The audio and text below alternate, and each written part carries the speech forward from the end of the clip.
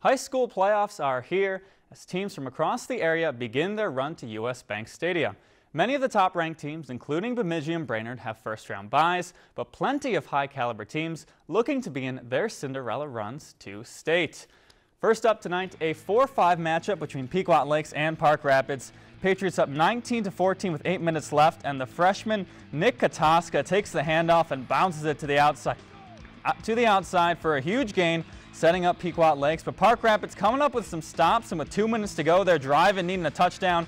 The hook and ladder, but Zach Jorgens comes up with a big tackle for Pequot.